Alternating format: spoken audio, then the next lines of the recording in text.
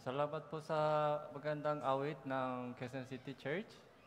So, dawala na po yung kinakaba, yung kaba ko kanina.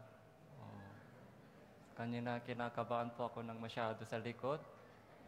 Pero habang nakikinig po tayo ng ah, magandang awit sa Diyos, so wala na. Wala na yung lungkot, wala nang ah, wala nang ah, kabalisahan ah, para bukas.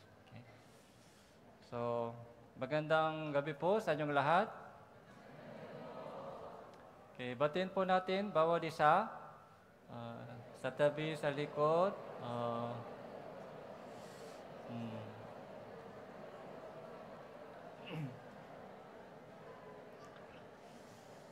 Okay. ah,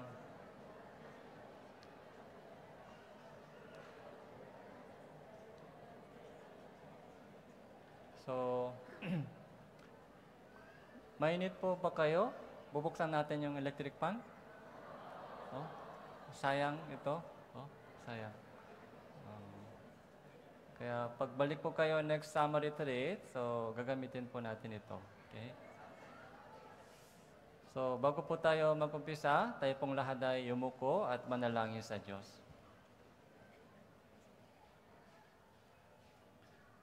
Banal at mahabaging, Ama naming Diyos na makapangyarihan sa lahat at nang mamahal po sa amin. Salamat po sa oras na ito, sa inyong dakilang biyaya at pagmamahal sa amin. Sa biyaya mo kami naligtas, sa biyaya mo kami nakarating hanggang sa oras na ito, lalo po itong taong 2022. Sa kabila ng maraming pagsubok at kahirapan, dinala niyo po kami hanggang dito. Lubos na kami nagpapasalamat sa inyo sa lahat ng kabutihan mo at pagpanubay sa aming lakad.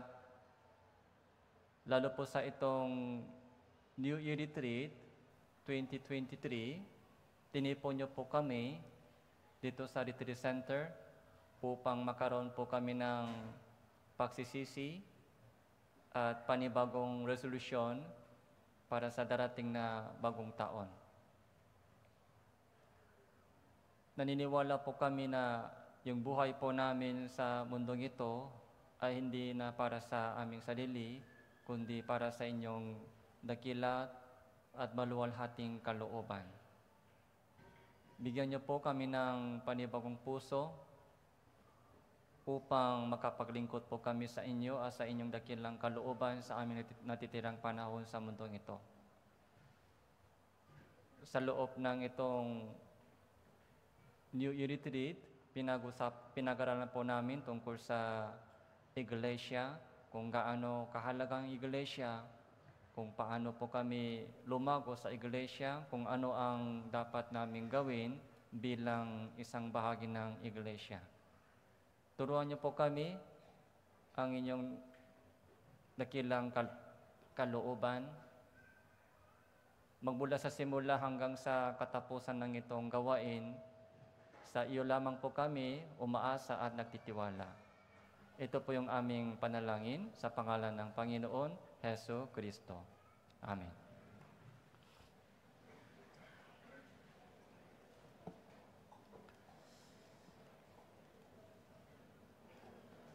So, Acts chapter 20, verse 28. Ito po yung pinaka-main teksto po ng itong New Year Retreat.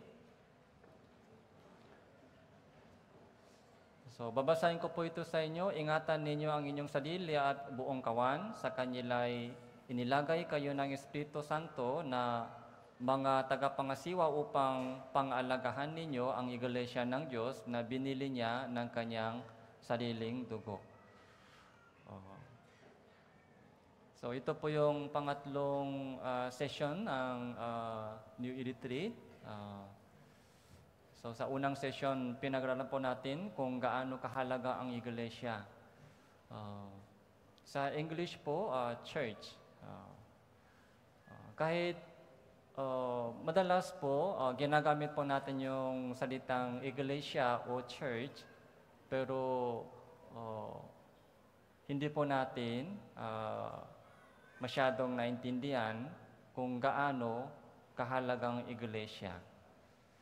Kahit matagal na po tayo naligtas, pero ah, konti pa lang, so nawa, naintindihan po natin kung gaano kahalagang iglesia. Kung naintindihan po natin kung gaano kahalagang iglesia, so walang mga kapatiran na umaalis sa iglesia ng Diyos. Bakit po umaalis po sila sa iglesia ng Diyos? Dahil hindi pa po nila naintindihan kung gaano kahalaga ang iglesia, kung ano ang iglesia. Tapos sa, sa pangalawang sesyon, ah, yung topic po ay Abide in Me. So tungkol sa ah, ah, church life, kung paano po tayo oh, mananatili sa iglesia hanggang dumating si Hesus Kristo. Yung topic po natin ngayon ay tungkol sa growing, tungkol sa paglago, kung paano po tayo lumago sa pananampalataya, kung paano po tayo lumago sa pagkakilala ah, sa Diyos at kay Hesus Kristo. So Ephesians chapter 4 verse 15, ah, pwede po natin itong basahin, 3, 2, 1. Kundi humahawak sa katotohanan na may pag-ibig, lumago tayong lahat sa Kanya na siyang ulo sa makatwid ay si Kristo. So lumago tayong lahat sa Kanya. Ito po yung ah, topic po natin. So grow up in all things into Him. Hindi po la, hindi po growing lamang. So meron pong tamang growing, meron pong maling growing. Okay? Kapag tama po yung direction po natin o pagkikitungo, so magiging maganda po yung resulta.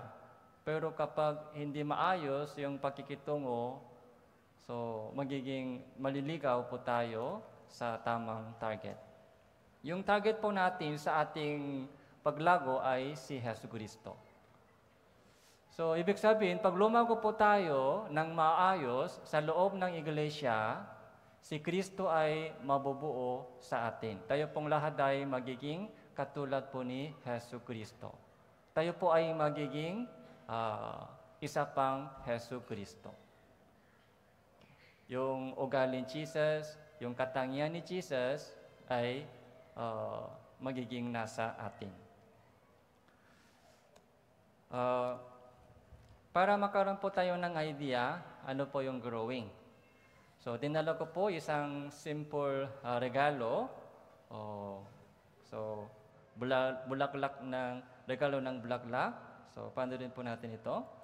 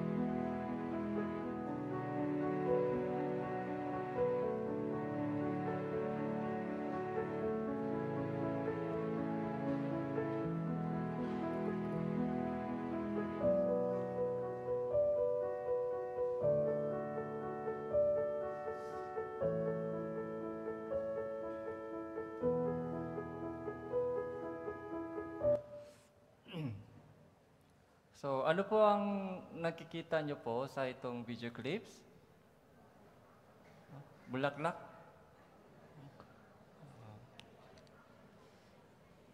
Ah, ang nakikita po natin uh, at dito ay growing, yung buhay, yung paglago ng isang buhay. Ito po yung time lapse. Ah, hindi ganitong nangyayari sa actor na ah, mundo, di ba? Nakita niyo po ganitong bulaklak, biglang ah, tumubo. Oh, ito po ay time lapse ta- ah, tawag po ah, with the, ah, mga one month o one year. ah, pabilisin na lang po yung mga video ah, para para mas madaling makita kung ano po yung changes. Sa harap ng Diyos, tayo pong lahat ay ah, may buhay. Lahat po ng mga may buhay ay lumalago. Yung paglago po ng isang buhay, isang halaman o hayop, pati yung tao, hindi po siya napapansin sa loob ng maiksing panahon. Parang katulad kahapon, yung yung ah, yung size ng ating katawan, parang kagaya ng kahapon. Ganun din bukas. Wala pong mga biglang paglago. Napakabagal po yung bilis ng paglago. Kaya hindi po natin napapansin ah, within short ah, yung panahon. Pero pagkalipas ng mahabang panahon, so makikita mo na, malaki na. Sa ganitong mga retreat, minsan po nag, ah, yung mga ah, dati kong kilalang bata ay pag lumapit sila sa akin, hindi ko sila na kilala dahil malaki na. Yung sa memory ko, maliit pa sila. Pero after one year, two years, three years, malaki na. Yun po yung growing. Lahat po ng mga may buhay ay lumalago. Yun po yung normal, normal na ah, nangyayari. Kung hindi lumalago, kung isang may buhay ay hindi lumalago. Okay? Isang bulaklak, hindi isang halaman hindi lumalago. Ano pong ibig sabihin? Hmm? Ito, lumalago siya ito. Hmm? It, plastic po ito, plastic. Hindi siya lumalago. Kaya next year, ganun pa din. Hmm? Pero yung tunay na halaman ay lumalago. Kung hindi po siya lumalago, ano pong ibig sabihin? Plastic. O may problema. O namatay. Hindi po siya normal. Malaking problema po kung walang growing. Kahit hindi po siya nakikita, napapansin agad-agad, pero nangyayari araw-araw. Unti-unti, lumalago. Yun po yung growing. Kaya, uh, check-in po natin yung ating sarili, siyasatin po natin yung ating sarili kung lumalago ba ako sa harap ng Diyos. After one year, two years, matagal na ako naliligtas. So, meron po tayong testimony. Naligtas ako noong ganitong ganitong year. Okay. Naborn again ako noon ganitong ganitong year. Maganda yung testimony, pero ngayon, may tanong po tayo. So, lumago na ba ako? Lumago na ba ako? O ganun pa rin ako? Ganun, ganun, ganun pa din ba ako? Kung walang growing, so kailangan po natin uh, check-in kung ano ang dahilan. Bakit hindi ako lumalago? Dahil seryosong problema po ito. Unang Corinthians chapter 3 verse 6 to 7, ako ang nagtanim, si Apollos ang nagtilig, unit ang Diyos ang nagpalago.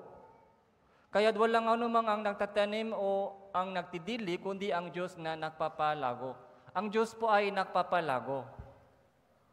Ganon din po sa atin, ang Diyos po ay nagpapalago sa lahat ng mga anak niya. Nagpalago po siya, tapos ngayon nagpapalago. Ito po yung ginagawa ng Diyos. Ito po ay kalooban ng Diyos. Yung growing ay kalooban ng Diyos. Ang Diyos po ay nagpapalago. Yung ating ginagawa ay evangelism, mga nagtatanim, tapos yung mga alaga, yung nagtidilig, pero yung growing ay galing sa Diyos. Kung hindi po siya kumilos sa atin, so hindi po tayo lumalago. Sabi din po gulo sa chapter 1 verse 10, lumalago sa pagkakilala sa Diyos. Unang Timot, pangalawang Timothy chapter 3 verse 18, basahin po natin dito sabay-sabay, 3, 2, 1. Subali, lumago kayo sa biyaya at sa pagkakilala sa ating Panginoon at tagapagligtas na si Hesus Kristo. Ito po yung kautusan ng Diyos. Lumago ka. Lumago kayo sa biyaya at lumago kayo sa pagkakilala. Pagkakilala po saan? Pagkakilala sa Panginoon, pagkakilala sa tagapagligtas na si Hesus Kristo. So, ito po yung dapat mangyari sa atin. So, church is the body of Christ. Church is the body of Christ. Kaya habang nananatili po tayo sa church, habang nagstay po tayo sa church, so dapat maging tayo, tayo po ay dapat maging kagaya ni Hesus Kristo. Yun po yung growing. So ngayon po, uh, i-share ko po sa inyo kung uh, paano, paano lumago tayo sa biyaya, paano lumago tayo sa pananampalataya, paano lumago tayo sa pagkakilala kay Heso Kristo. Unang Timoteo chapter 4 verse 7 to 8, sabi po doon, sanain mo ang inyong sarili sa kabanalan, sapagkat ang pagsasanay sa katawan ay may kaunting pakinabang, subalit ang kabanalan ay may kapag- kapakinabangan sa lahat ng bagay na may pangako sa buhay na ito at sa darating. Pansinin po natin yung salitang paksasanay. Paksasanay sa kabanalan. Sanayin mo ang inyong sarili sa kabanalan. Ano pong ibig sabihin? Sanain. Yung alam natin yung sanay, ay hindi ako sanay sa ganitong mga bagay. Okay? Parang bago lang ako. Bago, hindi ako sanay. Sanayin mo ang inyong sarili sa kabanalan. Dahil hindi pa po tayo sanay sa kabanalan.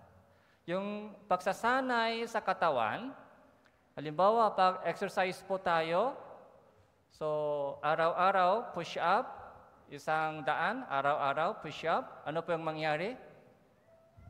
Magiging macho. Sa una, ganitong katawan, payat. Pero after one year, mga araw-araw, push-up 100 times. After one year, magiging katulad ng brother ito. Magandang katawan. Okay? Malaking katawan. Okay? Muscle body. Yung pagsasanay, exercise o practice para sa katawan o para sa mga nakikitang bagay, so may improvement. Mga driving, so sa una, so takot. Pero pag sanay ka sa driving, wala nang takot. Yung pagluluto, sa una, takot. Yung pagsasaing, sunok agad, sunok. Oh? Mahirap i-control yung level ng tubig. Kung gaano katagal, kung gaano kadaming tubig. Walang idea, takot. Kahit minsan sunog, minsan hilaw. Pero pag sanay ka sa pagluluto, so, mong sarap. Sa lahat ng bagay sa mundong ito, pag sanay ka, magaling. Pero sabi sa Biblia, Konting pakinabang yan, konting pakinabang. May pakinabang pero konti lang yan. Hindi, hindi yan malaki, ma- mahalaga yan. Mas mahalagang pagsasanay ay pagsasanay sa kabanalan. Pagsasanay sa kabanalan. Sanain mo. Okay?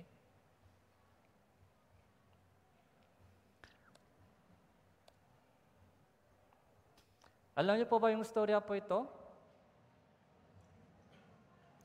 Slow and steady wins the race. Okay? Meron pong isang batang story, isang kuneho, isang pagong ay nag-race. Okay? Nag-race. Sino po yung nanalo? Pagong o kuneho? Pagong ay nanalo. Bakit pagong nanalo? Mas mabilis po ba yung pagong? Mabilis siya tumakbo? Yung rabbit gumagapang? Ang bilis po ng takbo ng rabbit. Pero bakit nanalo si Pagong? Dahil yung rabbit ay tulok on the way. Yung rabbit sa una, ang bilis. Pero sa gitna, nakita po niya yung pagong gumagapang pa. Kaya na mayabang si Kuneho, ay, oh, malayo, malayo ako sa kanya. Kaya tulok, tulok sa gilid, tulok. On the way, tulog siya. Habang nakat natutulog po siya, si Pagong ay tuloy-tuloy. Mabagal siya pero tuloy-tuloy. Okay? Slow but steady. Tuloy-tuloy, kaya naglampas. Kaya nung gising na po si pa, yung kuneho, nung gising na po yung kuneho, yung pagong ay malapit sa finish line. Ang tagal ng tulog ng kuneho. Kaya kahit pinagsisihanan po niya, bakit nakatulog ako, takpo agad, pero late na. Kaya si Pagong po ay nanalo to.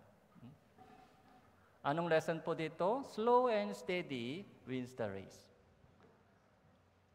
Lahat po tayo ay katulad ng pagong. Hindi po tayo, oh, marami tayong kulang. Alam po natin, wala, mahina po tayo, tapos wala kulang talento, Okay? So, pero ang mahalaga po ay hindi po yung bilis. Kahit slow, pero pag tuloy-tuloy, yun po yung steady. Pag tuloy-tuloy, yun po yung tawag ng kaugalian. Okay? Pagkaksasanay, kung ganon, mananalo po tayo, magtatagumpay po tayo sa ating Christian living. Huwag po tayo tumingin sa ating mga kondisyon. Minsan, tumitingin po tayo sa ating mga kondisyon, sa mga kondisyon na given. Ganitong background ako. Ganitong mga sitwasyon ko. Paano? Okay? Yung ibang mga tao, mas maganda, mas maayos. Parang loser ako. Hindi, yung starting line ay hindi pantay-pantay. Pero ang mahalaga po sa harap ng Diyos, hindi po yung mga talento. Kung gaano kadami yung talento ka, so kung gaano kagaling ka sa mga, kung gaano kadami yung knowledge mo, oh, wala pong ganong mga, hindi po mahalaga yun sa harap ng Diyos. Ang mahalaga po sa harap ng Diyos ay consistent ka pa. Consistent. Okay. Isa pa po, step by step goes a long way. Okay? So kahit yung malayong biyahe, one step by one step. Ano pong ano pong lesson po dito? So, yung kahit malayong biyahe, hindi pwede jump agad. Okay? One step, one step, pero tuloy-tuloy. Tuloy-tuloy.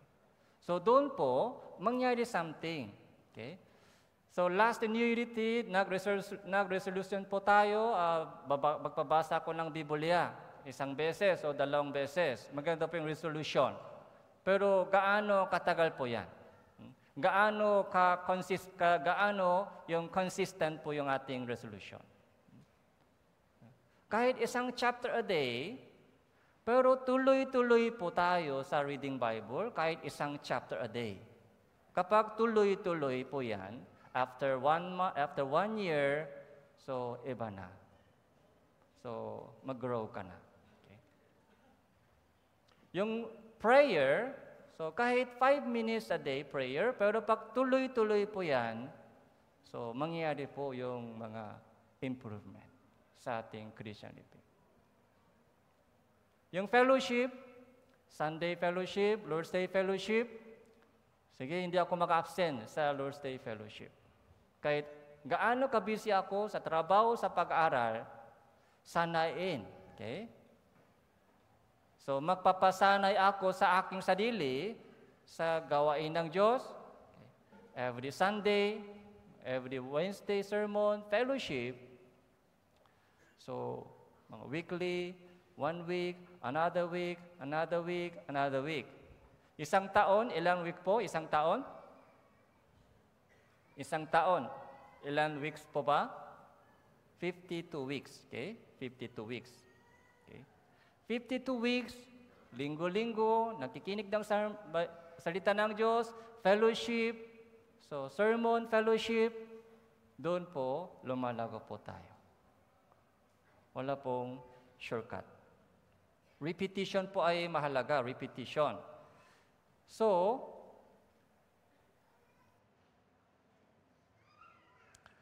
Sa Exodus chapter 16, verse 20 to 21, ganun may hindi sila nakinig kay Moises, kundi ang iba sa kanila ay nagtira niyon hanggang sa umaga. Inu, inuot at bu, bumaho yon, nagalit sa kanila si Moises, sila ay namumulot tuwing umaga, bawat tao ayon sa kanyang kailangan. Unit kapag ang araw ay umiinit na, ito ay natutunaw. So, tungkol kanino po ito? At tungkol saan po ito? Tungkol sa mana. So, yung mana po ay pakain po ng mga Israelita nung nasa ilang po sila sa loob ng 40 years. 40 years of wilderness. Wala pong ibang pakain.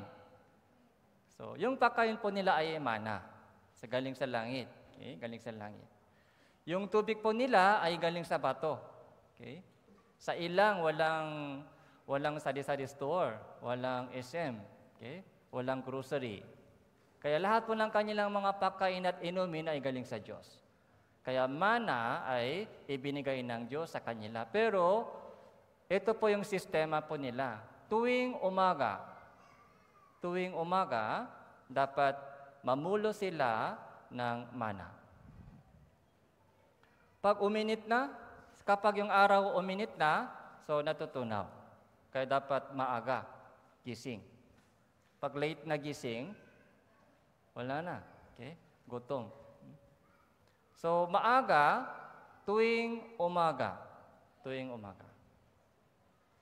So, bakit tuwing umaga? Hindi pwede uh, one, one week, yung sabay-sabay.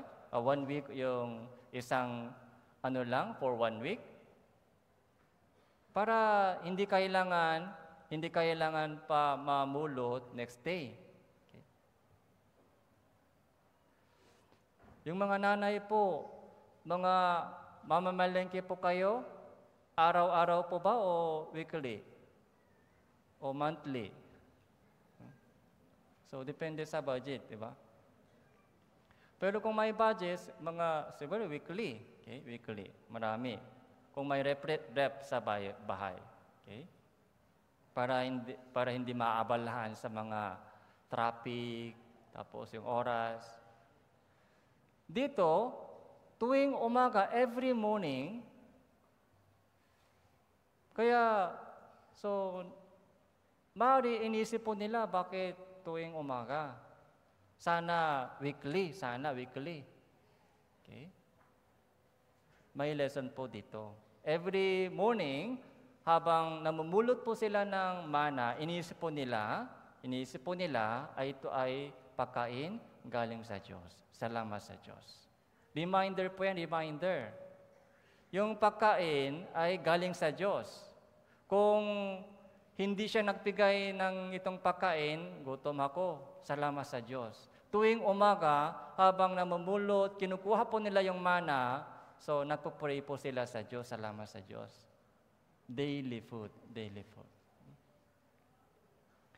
Pero matigas po yung ulo nila, ayaw, hindi sila nakinig kay Moises, kaya uh, kinuha po nila so para sa dalawang araw. Sobra. Kaya yung mga natitira hanggang sa bukas ay, so ano po, inuot. Okay? Tapos bumao, ba, may bao. Bulok na. Yung binasa yung mga Bible reading, yung bina, yung ba, salita ng Diyos na binasa natin every day ay para sa ngayon lang. Bukas, kailangan pa basahin yung Bible. Bukas. Okay. Isang beses ng Bible reading ay for one, one week, hindi po sapat yun. Bible reading ay dapat araw-araw. Yung mana po ay ah, may meaning po sa atin, yung words of God.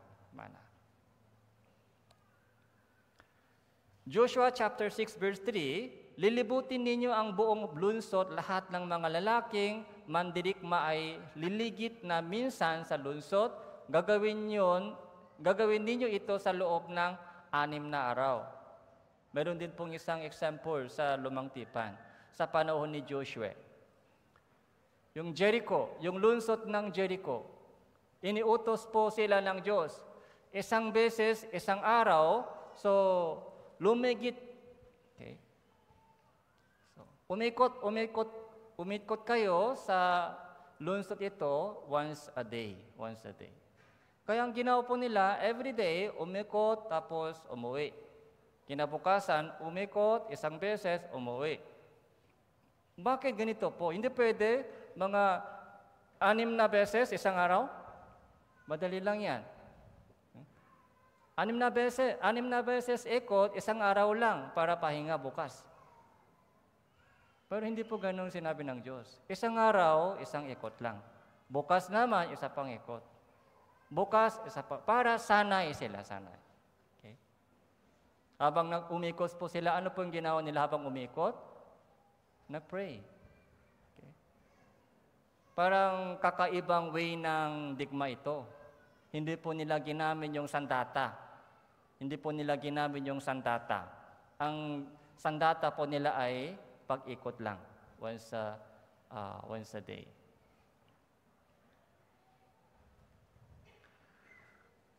So, ganun po ang So, para sanain po natin yung ating sarili sa mga magandang kaugalian sa ating Christian living, uh, Bible reading, o prayer, o fellowship, evangelism. So, kailangan po natin uh, sanain yung, yung ating sarili, yung paulit, repetition. Repetition po ay napakahalaga, repetition. Time-consuming po yan, time-consuming repetition. Kasi po, pag once, pag first time, excited po tayo sa first time. Kasi po, so, wala tayong idea. Okay? First time, excited. Pero pag second time, so, ay, alam ko na yan. Walang bago. Alam ko na kung anong sistema na yan. Yung sermon po, ganun, ganun din po yung nangyari ating sermon. Di ba, yung ating Sunday sermon, Wednesday sermon, the same topic lagi, di ba? Tungkol sa biyaya ng Diyos, tungkol sa mga Christian living. So wala pong ibang special na topic about Christian living, kung paano lumago tayo sa ating faith, paano ma-evangelize, about read, Bible reading, uh, prayer, fellowship, salvation. Walang special. So common topic lagi. Kaya minsan po, pag sanay na po tayo, ay pareho naman yung topic lagi. Walang bago.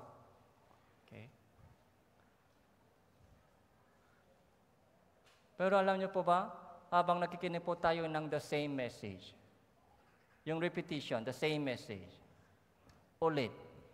Next week, ulit. Next week, ulit. Doon po tayo lumalago. Doon po tayo lumalago. Wala pong shortcut sa ating Christian living. Every day, araw-araw, dapat magbasa po tayo ng Biblia at magbulay-bulay ng Biblia. Kailangan po natin makinig ng sermon every Lord's Day, Wednesday, araw-araw. So, yun po yung uh, paraan uh, kung paano lumago tayo sa uh, pananampalataya. Galatia chapter 4 verse 19. Basahin po natin ito ng sabay-sabay. 3, 2, 1.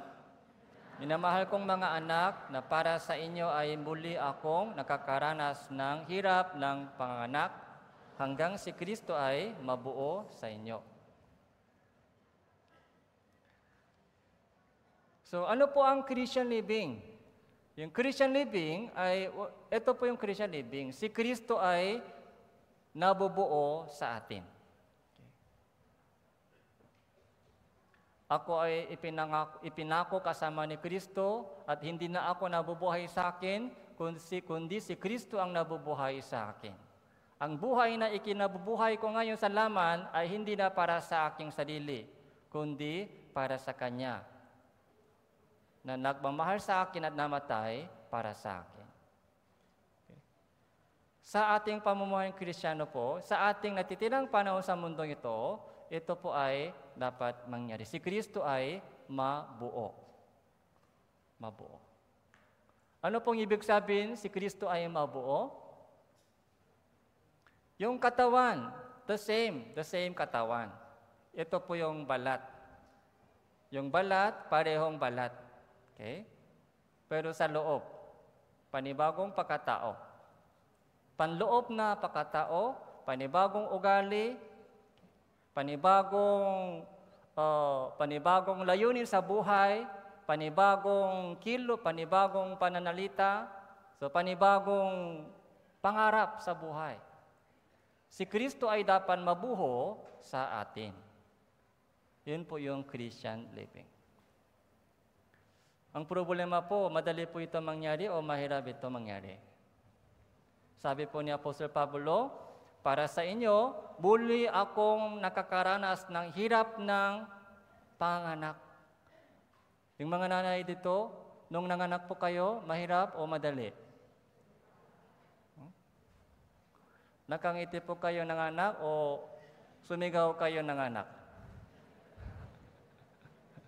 Sumigaw. Okay? Sumigaw. Kaya yung mga yung mga husband, So, takot lumapit. Hmm? Baka hawakan nila yung buhok. Oh? Dahil sa iyo, ganitong hirap ako. Oh? Hmm. Pero, kaya pagka panganak, pag, pag nanganak po sila, inisip po nila, ay ayoko na. Ayoko na ang mga anak ng pangalawa. Pero pang nakita nila yung mga baby, yung hirap ay kalimutan na. Kaya mag-schedule pa ng pangalawa. Pero habang nanganganak, okay, so, galit na galit ulit. Hirap. Ganun kahirap. Ganun kahirap po yung panganganak. Pero sabi po niya po sa Pablo, Muli, muli akong maka, nakakaranas ng hirap ng panganak. Hanggang si Kristo ay mabuo sa iyo. Kaya, yung pagbubuo pa, yung Christian living, paglago sa ating pamumuhay kristyano, yung pagsasanay sa kabanalan, pagsasanay sa kabanalan, ay hindi po madaling gawin mahirap itong mangyari dahil may kaaway tayo, may kaaway. Sa loob, si Kristo ay dapat mabuo, pero sa kabilang bahagi, yung dating dating pagkatao nandyan pa rin. Dating ugali, nandyan pa rin, dating ugali. Ganito ako. Nandito pa ako. Isang bahay, dalawang mayari. Nag-aaway po sila. Isang lote, dalawang may-ari, anong mangyari? Isang bahay, dalawang may-ari. Nag-aaway. Kaya pangnanasan ng laman, so nandyan pa rin. Pangnanasa ng Holy Spirit ay bagong, bagong pangnanasa. Ito pong dalawang pangnanasa ay nakipag-away araw-araw. Kaya, so, kailangan po natin, uh, kailangan po natin uh, malaman, so paano, paano manalo po tayo sa ating Christian life? Paano madaling mabuo si Kristo sa atin? Okay. So, nandyan pa rin yung mga dating ugali. So, paano, paano labanan ko yung dating pagkatao? Kaya tingnan po natin, uh, tungkol kay Hesus Kristo, kung uh, ano po ang buhay ni Hesus Kristo, so para lumago po tayo uh, patungo sa Kanya. Yung buhay po ni Hesus Kristo sa mundong ito, mula nung uh, binautismuan siya, so binautismuan siya, tapos dinala po siya sa tokso ni Satanas, pagkatapos ng tokso ni Satanas, so nagministry po siya, umikot po siya sa buong Galilea, tapos nangaral po siya ng salita ng Ebanghelyo, tapos namatay po siya sa Jerusalem. Yun po yung buhay po ni Jesus Kristo. Ipinanganak po siya sa uh, Bethlehem. Yung baptism, na bautismuan siya, tapos tinuk po siya, tinukso ni Diablo, tapos nag-ministry namatay sa Jerusalem. Yung buhay po ni Yesu Kristo ay isang perfectong example, perfectong example para sa lahat ng mga Kristiyano. Kung wala po tayong idea ano ang tamang Christian living, tingnan po, na, tingnan po ninyo ang buhay ni Yesu Kristo. Sabi ni Jesus, sumunod ka sa akin. Matuto ka sa akin. Okay? Matuto ka sa akin.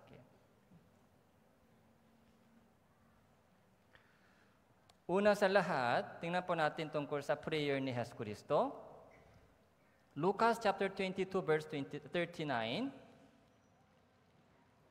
At siya ay lumalabas at pumaroon gaya ng kanyang nakaugalian sa bundok ng mga olibo at sumunod naman sa kanya ang mga alagat. So, lumalabas at pumaroon gaya ng kanyang kaugalian, nakaugalian sa bundok ng mga olibo. Ano po yung ginawa ni Jesus doon sa bundok ng mga olibo? Okay. Nanalangin siya. Nanalangin siya. Okay. Sumunod naman sa kanya ang mga alagat. Minsan, madaling araw, habang madilim pa, so pumunta po siya sa ilang. Doon po siya nanalangin. Kaya pang nakita po ng mga alagat, si Jesus ay nasa bundok, nasa ilang. Siya lang nag-isa pero parang nagsasalita siya, nag-usap.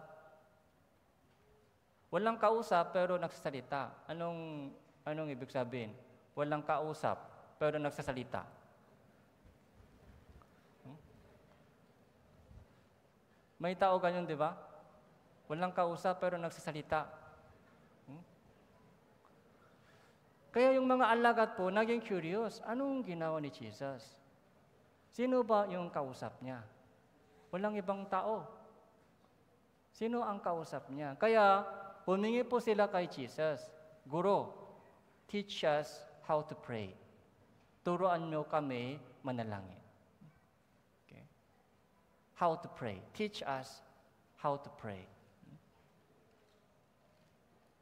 Kailangan din po natin sabihin kay Jesus, Panginoon, turuan mo kaming manalangin. Yung, pang, yung communication sa Diyos. Yung prayer. Pagdadasal.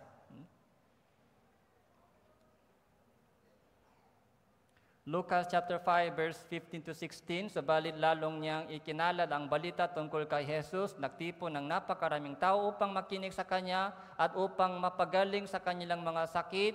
Subalit, verse 16 po, basahin po natin, Subalit, umaali si Jesus patungo sa ilang at nananalangin.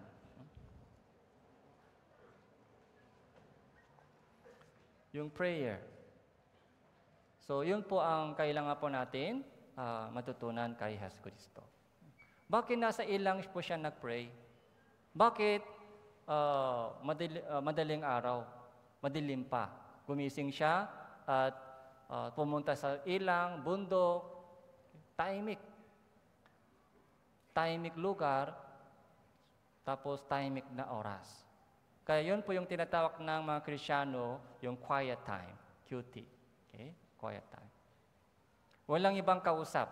Bago po mabuksan yung messenger, bago po mabuksan po yung mga cellphone. Okay? Bago magsaing. Okay? Sa Diyos muna mag-usap. Opening prayer. Kung meron po tayong occasion, di ba, may opening prayer, closing prayer. Ganun din po sa isang araw, dapat mag-umpisa po tayo sa isang araw with opening prayer. Bago matulog po tayo, bago pumasok sa, bago humiga sa higaan, so dapat closing prayer tayo. Yung prayer po ay parang paghinga, breathing. Yung prayer po ay mga desire to be alone with God. Okay. Desire to be alone with God. Kasi nung ikinalat ang balita tungkol kay Jesus, daming mga mga may sakit ay naghahanap kay Jesus. Gusto nilang uh, gumaling. Pero si Jesus ay umalis sa bundok, sa ilang, doon po siya nanalangin. Si Jesus ay ang Diyos mismo. Bakit po nanalangin pa siya? Bakit kailangan pa siya manalangin? Kung siya po ay Diyos mismo. Ito po yung example para sa atin. Kung ano ang tamang pamumuhay ng Kristo, kung paano po mabuo si Kristo sa atin sa pamagitan ng prayer. Okay?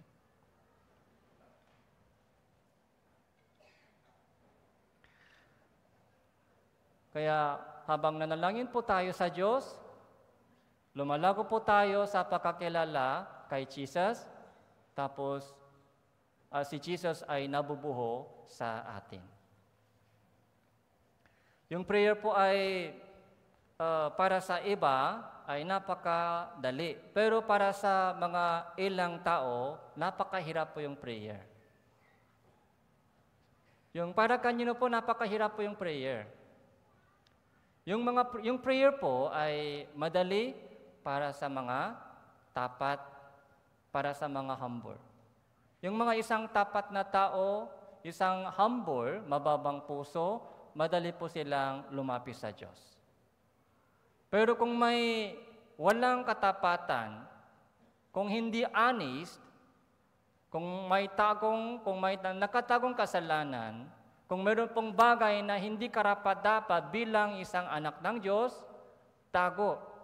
Kung ganun po, mahirap lumapis sa Diyos. Bakit mahirap lumapis sa Diyos? Dahil naramdaman po ng ating mga konsensya, ang Diyos po ay nakakaalam ng lahat.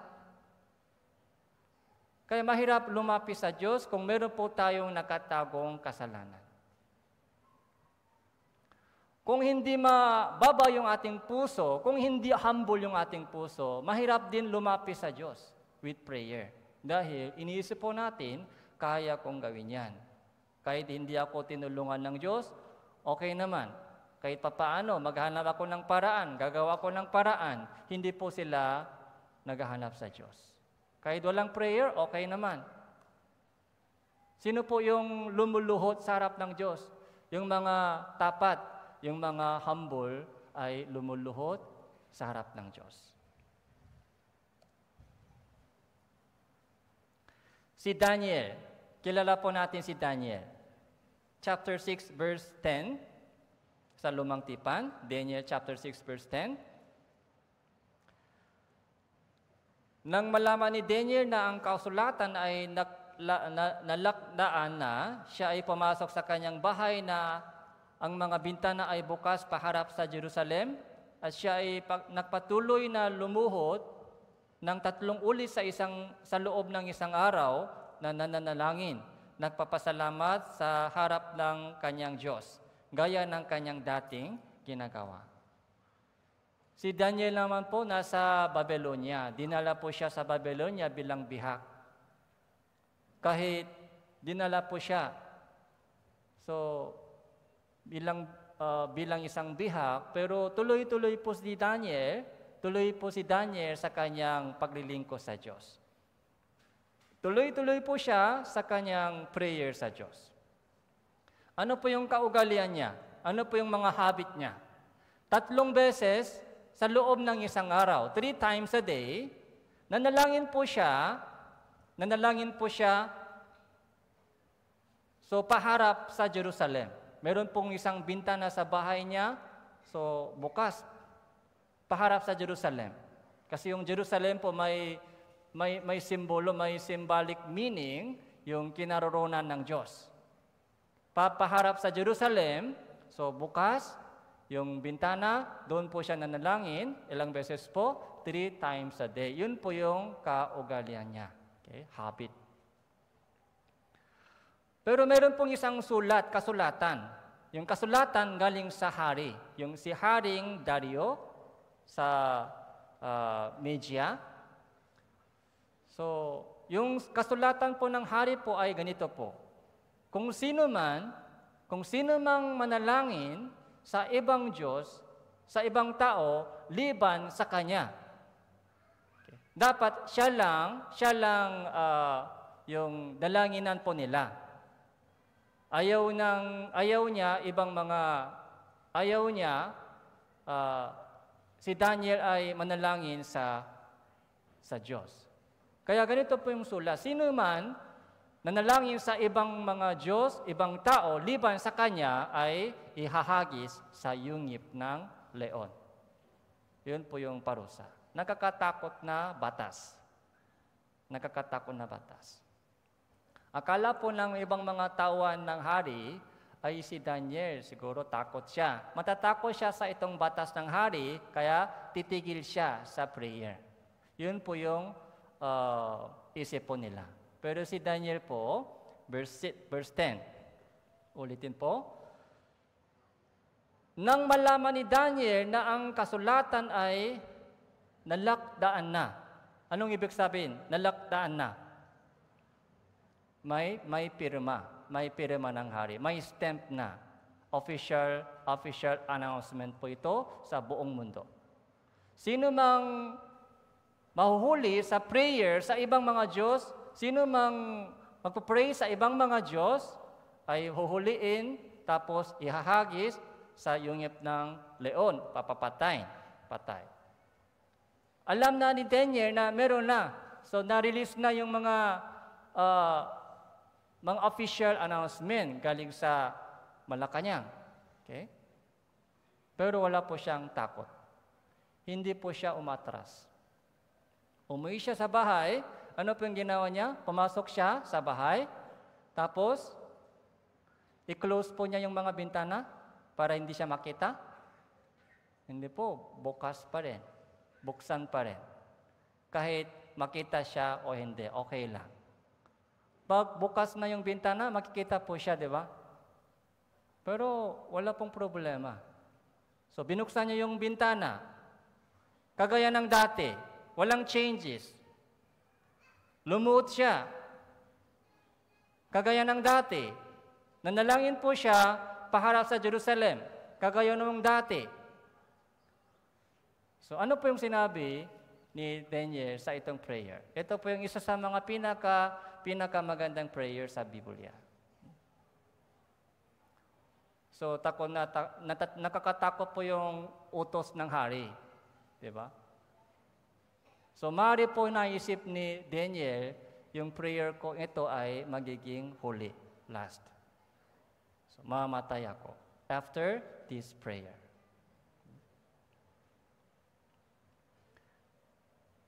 Nagpasalamat po siya sa harap ng Diyos. Ano po yung, saan po siya nagpasalamat? Hanggang sa araw na ito, okay, so, iningatan niya ako hanggang sa araw na ito, So maraming uh, biyaya, di ba? Yung lyrics po ng biyaya, alam po ba natin yung lyrics ng biyaya? So lahat ay uh, biyaya. Hanggang sa araw na ito, sa biyaya nakarating. So nagpasalamat po si Daniel sa sa harap ng Diyos gaya ng dating ginagawa. Ano po yung resulta? Chapter 6, verse 23, Nang makagayay tuwang-tuwa ang hari, ipinakutos na kanilang iaahon si Daniel mula sa yungip, kaya't iniahon si Daniel mula sa yungip at walang anumang sugat na natakpuan sa kanya sapagkat siya ay nagtiwala sa kanyang Diyos. Si Daniel po ay walang takot sa tao. Sa Diyos lang siya lagi nagtiwala. Okay. Yun po yung prayer ni Daniel, kagaya ng dating ginagawa. Ano po yung ginawa po natin dati? Ano po yung ginawa po natin kahapon? Meron po ba tayong magandang yung habit? Okay. Meron po ba tayong magandang habit ng Bible reading o mga prayer? Sana po next year, makaroon po tayo ng good, good Christian habit. Good Christian habit. Doon po tayo lalago.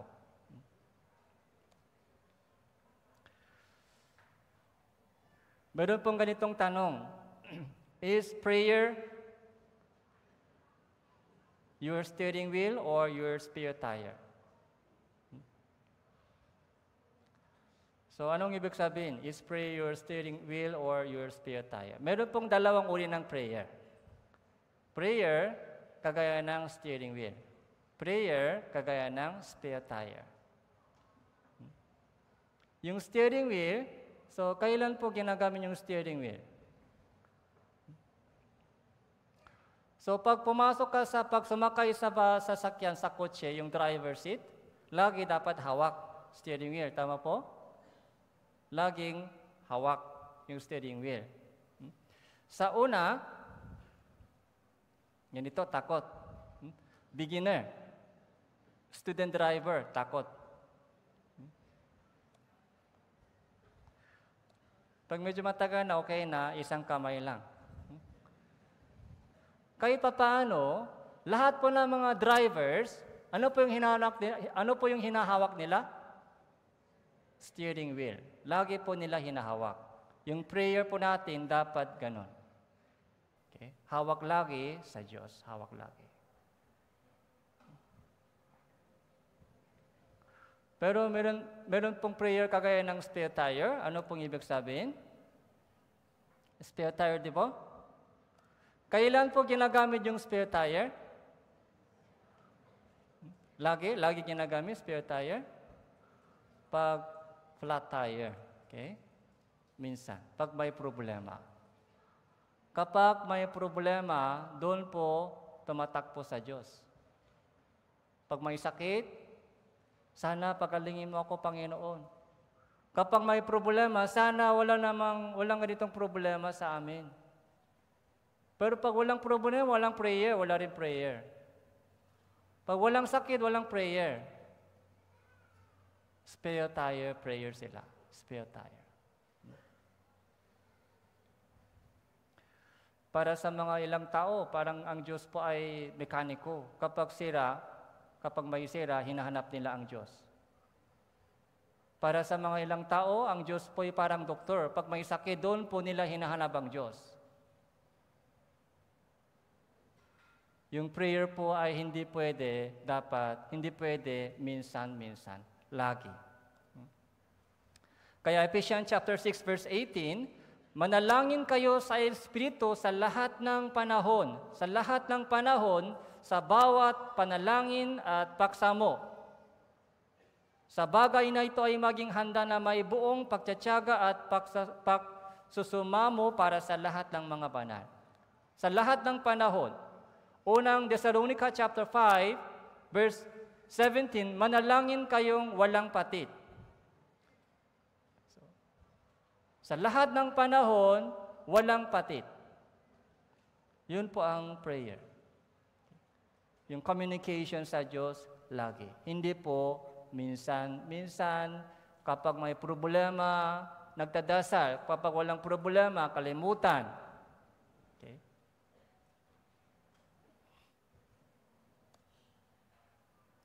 1 John chapter 5 verse 14, basahin po natin sabay-sabay, 3, 2, 1.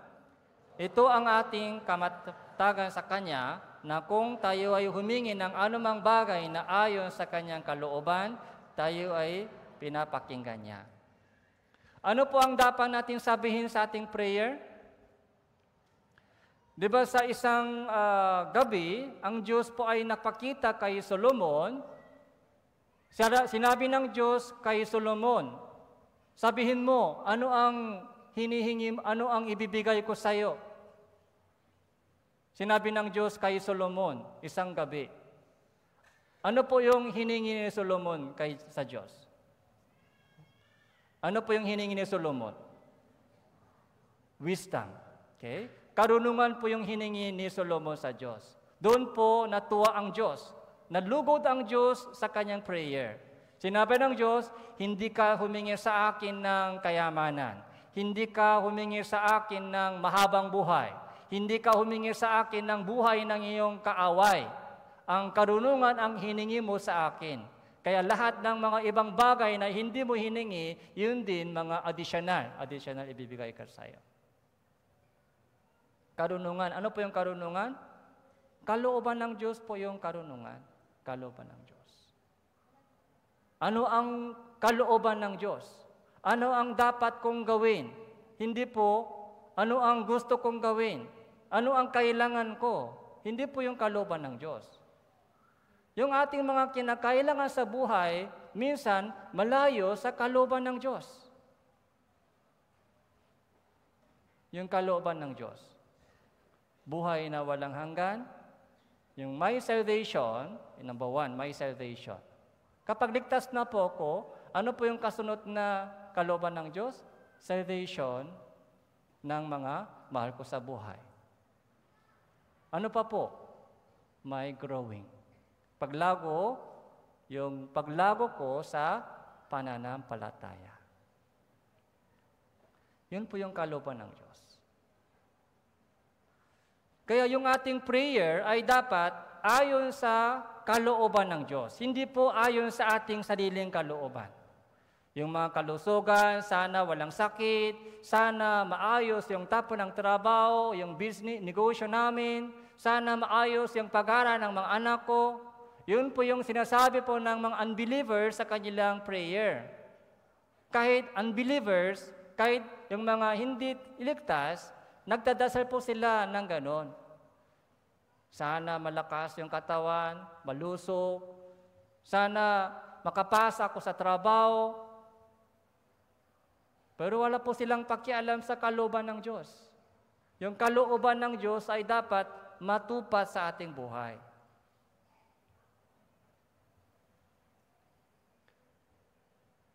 Kaya sinabi ng Diyos, bakit hindi ka tumatanggap dahil hindi ka humingi? Bakit hindi ka tumatanggap kay humingi ka? Dahil ang paghingi mo ay hindi ayon sa kalooban ng Diyos.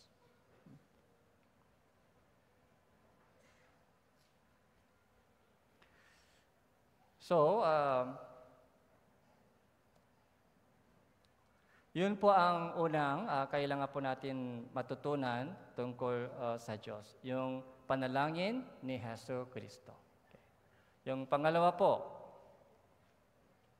Matthew chapter 4 verse 4, Uni siya ay sumagot na susulat, hindi sa tinapay lamang mabubuhay ang tao, kundi sa bawat salitang lumalabas sa bibig ng Diyos. Ano po yung pagkain ni Jesus?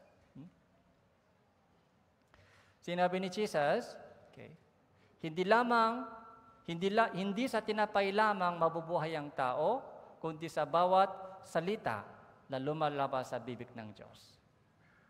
Ang pagkain, tinutukoy ni Jesus dito ay hindi po yung nakikitang pagkain. John chapter 4, verse 32-33, uh, 34, babasahin ko po ito sa inyo. So, sinabi niya sa kanila, ako ay may pakain na hindi ninyo nalalaman. Kaya sinabi ng mga alaga sa isa't isa, may nagdalas kaya sa kanya ng pagkain? Sinasabi sa kanila ni Jesus, ang pagkain ko ay ang gawin ng kalooban ng nagsugo sa akin at tapusin ang kanyang gawain. Ano po yung pagkain ni Jesus? Hindi po nakikitang pagkain. May pagkain ako na hindi ninyo nalalaman. May si Jesus may sariling baon? Wala po siyang sariling baon. Yung pagkain ni Jesus ay pagsunod sa kalooban ng Diyos. Pagtupat ng kalooban ng Diyos. Paano, paano magiging pagkain yan? Yung inisip po natin, yung pagkain, yung galing sa pagkain yung ating energy. Hmm? para sa energy ng ating katawan ay galing sa pagkain. Hmm? Kaya kanina nag-dinner tayo, nag-dinner, kaya may energy tayo. Pero mamaya, pagkatapos ng general fellowship, mga 11 o'clock, 12 o'clock, may energy pa? Oh, ubos na, di ba? Kaya tatakpo tayo sa kantin mamaya. Pero yung pagkain po ni Jesus ay ibang uri ng pagkain. Gawin ang kalooban ng nagsugo sa akin. At tapusin ang kanyang gawain. Yun ang pagkain ko.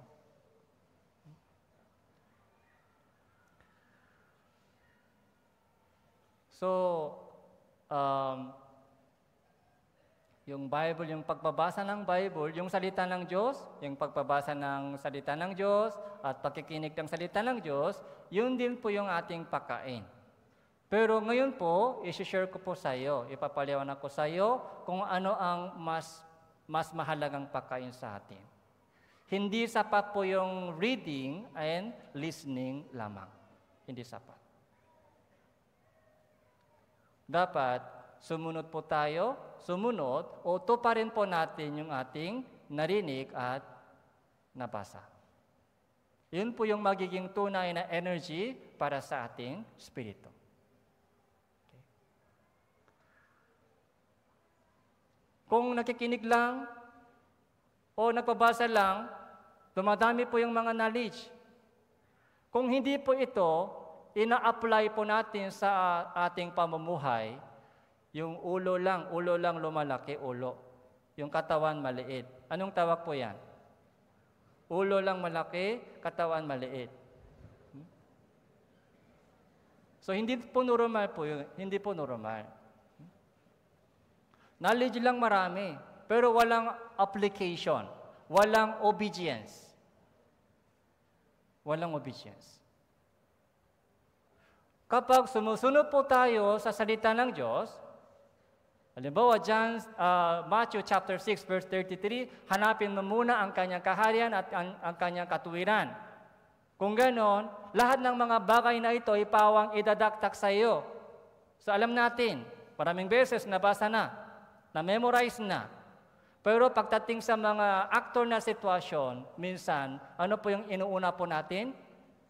Yung mga gawain, gawain, yung sariling gawain, yung mga gawain sa family, gawain sa trabaho, gawain sa pag-aaral. Kung ganun po, hindi po natin ma-experience kung anong ibig sabihin ng uh, Matthew chapter 6 verse 33. Pero sa aktor na mga sitwasyon, di ba, conflict, mga Bible seminar, tapos yung exam sa school, conflict na. Anong gagawin ko? Okay?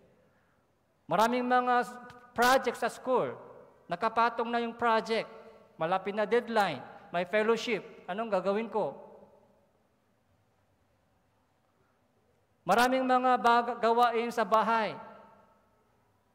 Pero may fellowship ng mothers. Fellowship ng fathers. Okay. Pagod na ako. Pagod na. Galing ako sa trabaho. Late na umuwi. Gusto kong pahinga. May fellowship. Anong gagawin? Doon po, kapag inuuna po natin yung gawain ng Diyos, sige, fellowship muna. Kahit pagod man ako, okay. tapos ibang mga gawain, marami, pero uunahin ko yung gawain ng Diyos. Bible seminar, fellowship muna. Okay? Kung ganon, doon po ma-experience po natin kung paano tutuparin ng Diyos yung kanyang promise. Doon po ma-experience po natin yung tulong ng Diyos. Doon po tayo lumalakas. Yun po yung energy natin. Kapag knowledge na lang po, hindi, mga konti lang energy. Pero kapag maranasan po natin kung paano kumilos ang Diyos sa akin, kung paano tumulong, tinulungan ako ng Diyos, iningatan ako ng Diyos, doon po lumalakas po tayo. Alam po natin yung prayer, Lord's Prayer, Matthew chapter 6, verse 11. Bigyan mo kami na ngayon ng aming pagkain sa araw-araw, our daily food. Bigyan mo kami ngayon ng aming pagkain sa araw-araw. Yung pagkain po ito, hindi lamang yung mga spirit, yung mga physical na pagkain. Yung ating mga katawan ay galing, yung lakas galing sa pagkain. Pero yung ating spirito, yung kalakasan ng ating spirito, saan galing? Galing sa words of God. Galing sa ob- obedience, pagsunod sa salita ng Diyos. Kaya araw-araw, so kailangan din po natin mag-pray. Panginoon, pagkalooban mo ako ng energy sa pamagitan ng obedience. Tulungan mo ako sumunod sa inyong salita. So, yun po yung uh, pagkain po ni Hesus Kristo. Maraming mga mga talata tungkol sa salita ng Diyos. Psalm chapter 119 verse 9, paano pananatiliing dalisay ng kabataan ng kanilang daan sa pamamagitan ng pag-iingat niyon, nito ayon sa inyong salita. Ilawan sa aking mga pa ang salita mo at liwanag sa landas ko. The words of God is the light. So, sa pamagitan ng words of God, so, magiging malinis po tayo. Kaya sinabi ni Pastor Pag kagabi, yung mga Bible reading, lalo na po yung mga high school young adults, kabataan, kailangan magbasa ng Bible ng mas masipak habang malinaw pa yung mata. Okay? Kahit, di ba, yung, yung Bible reading, so parang mga shower, shower time. Hmm? Pag naliligo po kayo, so sarap, di ba? Sarap. Mga isang araw, mga is, araw-araw po naliligo po tayo. Okay? Naliligo. Sa loob ng isang araw, maraming mga alikabok, mga dumidikit, kaya may amoy. Hmm? Kaya kung hindi naliligo po tayo within one, one week, anong mangyari? Hmm? Hindi pwede matulog sama-sama doon. Hmm? Kaya araw-araw naliligo. Ganun po, habang nagpabasa po tayo ng Bible, nakikinig po, so yung mga dumi ng salibutan na nakadikis sa akin, galing sa salibutan, di ba maraming dumi, alikabok ng salibutan, no? ay na huhugasan, na wash. Okay? Yun po yung nangyayari sa, sa salita ng Diyos. Yung ilaw, yung salita ng Diyos ay ilaw sa ating pamumuhay kristyano. Okay? Ilaw. Sa itong madilim na salibutan, kung wala pong ilaw, so babaksak po tayo sa hukay ng pagsubok ni Satanas. Kaya pag madilim po, mahirap lumakat po tayo. Kaya para matuwid po tayo lumakat, para hindi po tayo baligaw sa mga ibang landas, dapat uh, kailangan po natin uh, ilaw sa harap natin.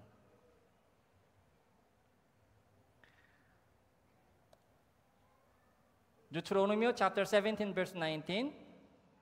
Yun ay mamamalagi sa kanya ang kanyang babasahin sa lahat ng mga araw ng kanyang buhay.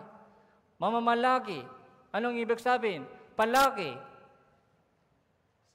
Lagi po tayo malapit sa words of God at babasahin sa lahat ng mga araw ng kanyang buhay.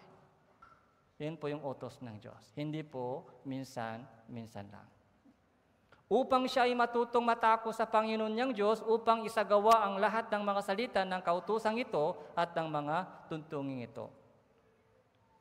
Acts chapter 17 verse 11 naman po, ngayon ang mga ito ay higit na mararangal kaysa mga taga Thessalonica sapagkat tinanggap nila ang salita ng buong pananabik na sinisiyasat araw-araw ang mga kasulatan kung tunay nga ang mga bagay na ito. Dito araw-araw, sinisiyat sinis, sinisiyasat po nila ang mga words of God, kasulatan.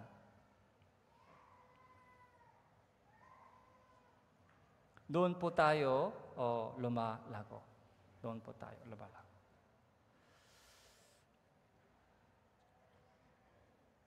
So, uh, tingnan po natin uh, kung kaya dalawa po yung pinag-isipan po natin uh, kung ano ang uh, good yung habit, yung by words of, yung prayer, saka words of God.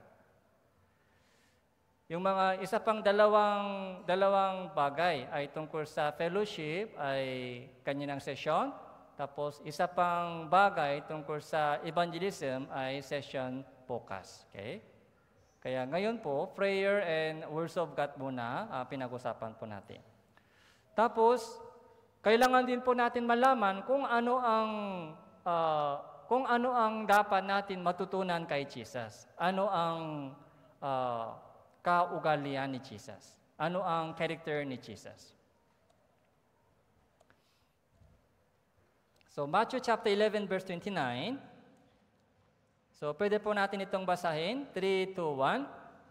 Pasanin ninyo ang aking pamatok at matuto kayo sa akin, sapagkat ako ay maamo at may mapakumbabang puso, makakatakpo kayo ng kapahingaan para sa inyong mga kaluluwa. So ito po yung napakahalagang talata. Matuto ka, matuto kayo sa akin sapagkat ako ay maamo. Gentle, maamo, tapos mapakkumbabang puso. May mapakpakumbabang puso.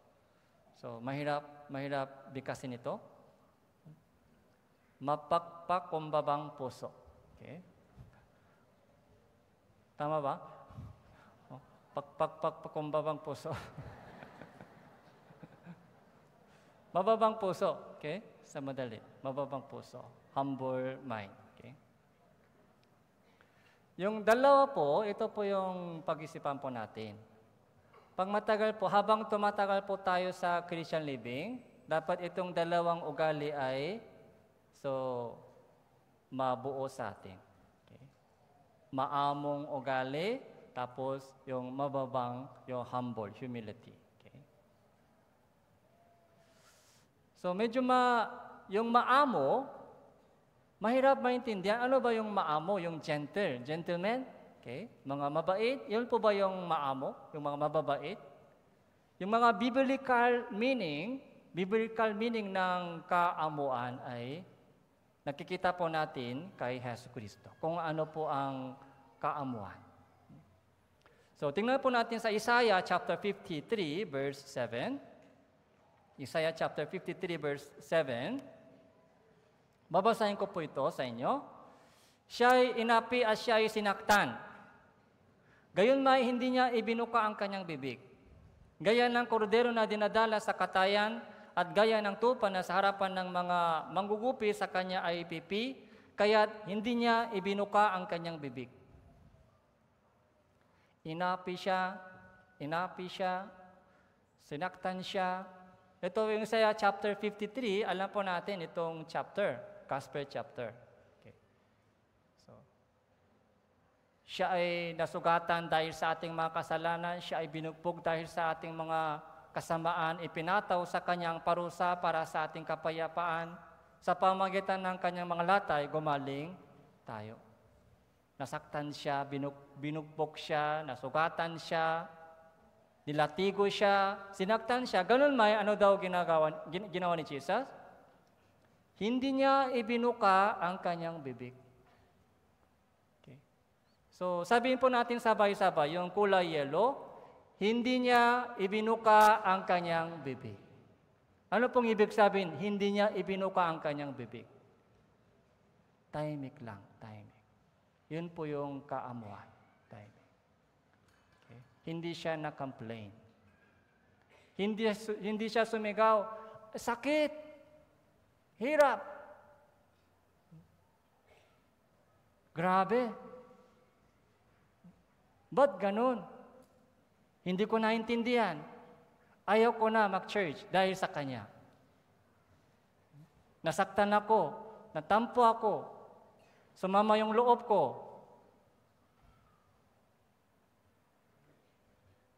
Si Jesus ay inapi, sinaktan, binukpok, lahat. Pero anong ginawa ni Jesus? Hindi niya ibinuka yung kanyang bibig. Tuloy-tuloy. Hanggang ipinako siya sa cross. Tahimik lang. Ito po yung Ito po yung kaamuan. Okay? Maamo ako, matuto ka sa akin. Okay? Si Jesus ba mabait? Si Jesus mabait? Yung mabait, hindi po yung tamang salita kay Jesus. Okay? Yung mga gentle, yung maamo, hindi po ganung mga meaning.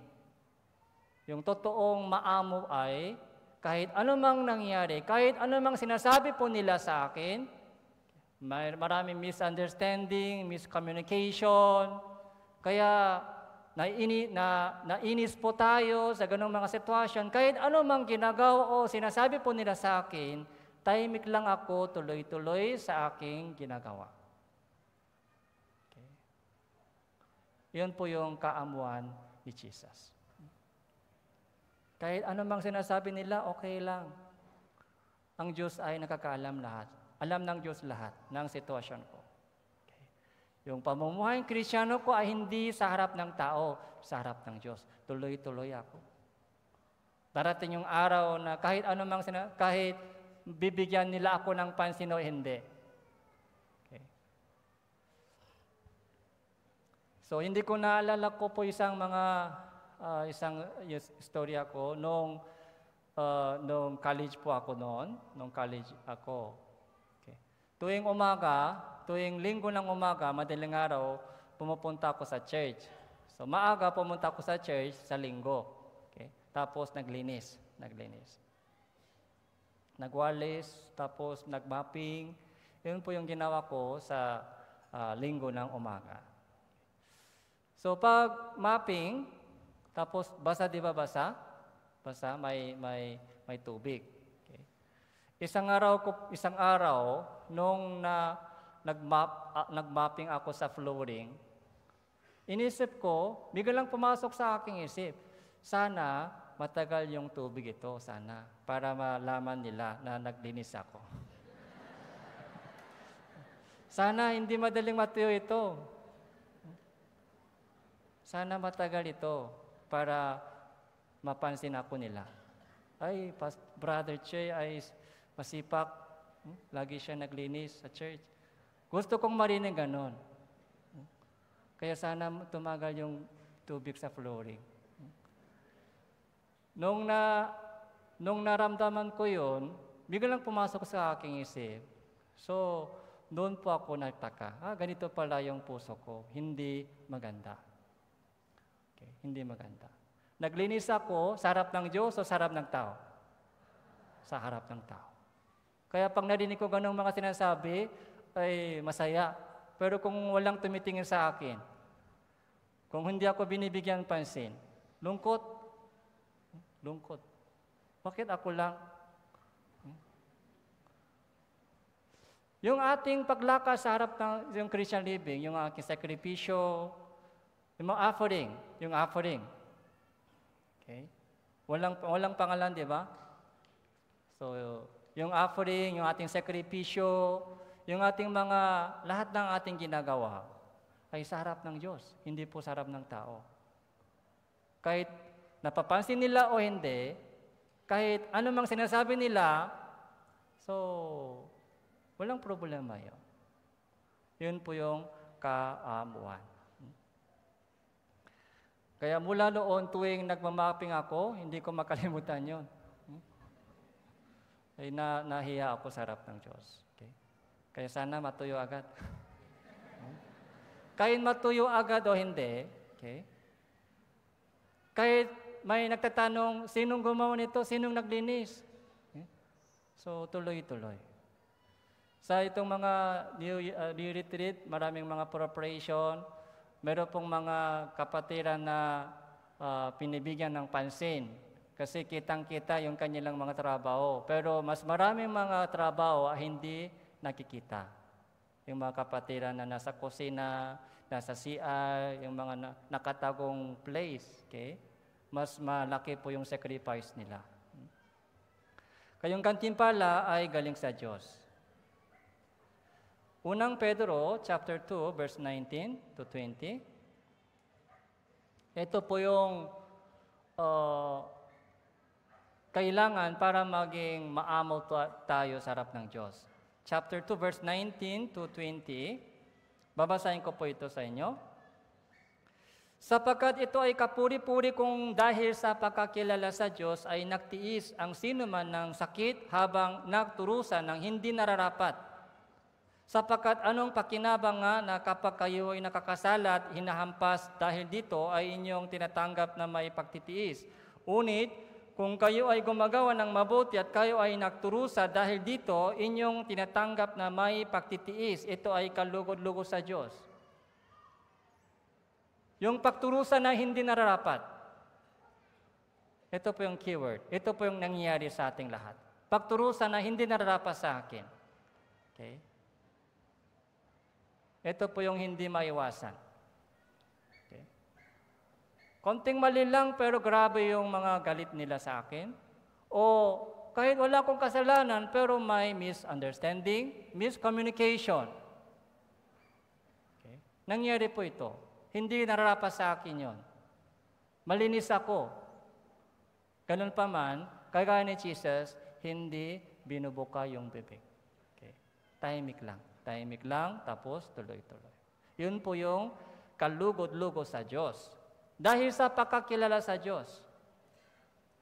Dahil sa pagkakilala sa Diyos. Anong uri ng pagkakilala sa Diyos? Okay. Kung nakilala po natin ang Diyos, ng ganito, kahit ano mang mangyari sa akin, okay lang, masaya pa din. Dahil nasa harap ako ng Diyos. Hmm?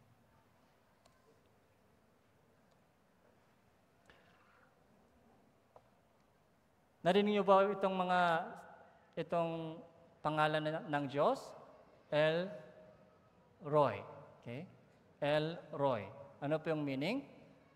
The God who sees. Okay? the God who sees. El Roy. Yung El, ito po yung meaning, ito po yung meaning, uh, may meaning Diyos, El. Ang El Shaddai, halimbawa, El Shaddai, ano po yung meaning ng El Shaddai? El Shaddai. Grupo, grupo ng grupo ito dito, di ba? Yung El Shaddai ay isa, isa din pong pangalan ng Diyos, Almighty God. Yun po yung meaning ng El Shaddai. Yung El Roy ay ang Diyos who sees. Genesis chapter 16 verse 13, kaya kanyang ipinangala, ipinang, ipinangalanan ang Panginoon na nagsasalita sa kanya, ikaw ay Diyos na nakakakita sapagkat sinasabi niya, talaga bang nakita ko ang Diyos na natiling buhay pagkatapos na makita, makita siya. Ikaw ay Diyos na nakakakita sa Tagalog.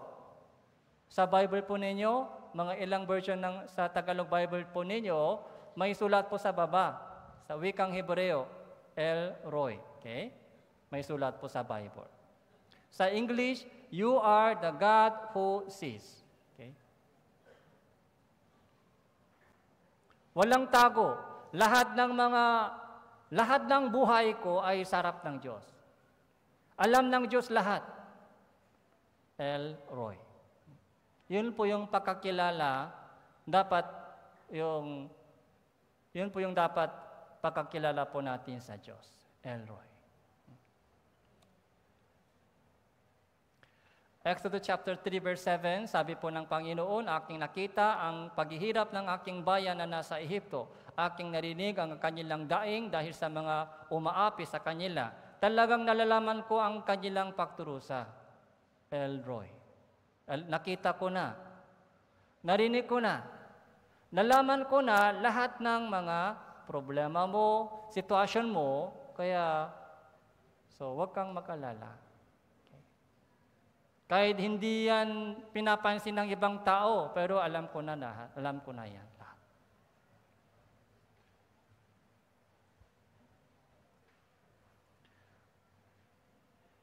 Kung uh, yun po yung Unang, unang meaning ng kaamuan, kaamuan uh, sa harap ng Diyos.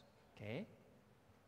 Kaya, bakit hindi po ibinuka ni Jesus yung kanyang bibig? Dahil, so, ganito po ang Diyos. Hindi kailangan ipaliwanag pa. Alam ng Diyos lahat. Okay.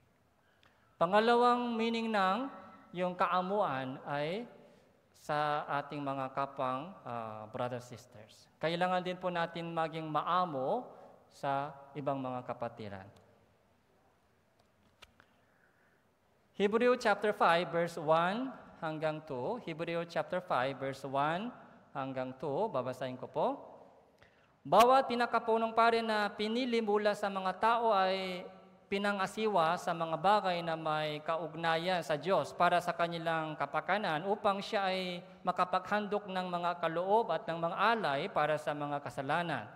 Verse 2, basahin po natin ito, 3, 2, 1 siya ay marunong makitungo na may kaamuan sa mga mangmang at naliligaw.